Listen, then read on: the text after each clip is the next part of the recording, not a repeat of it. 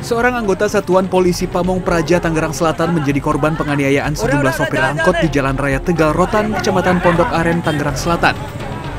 Peristiwa berawal saat korban meminta pertanggungjawaban saat mobilnya bertabrakan dengan angkot yang tiba-tiba keluar dari barisan angkot lain yang sedang menunggu penumpang.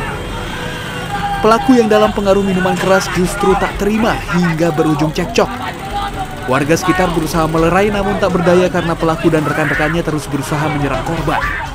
Polisi telah menangkap dua orang pelaku dan masih terus melakukan penyelidikan secara intensif.